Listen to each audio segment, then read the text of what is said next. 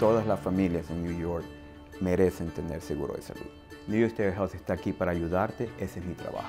Muchos de los planes que puedes escoger van a costar menos de un dólar al día y muchos de ellos también pueden costarte absolutamente nada.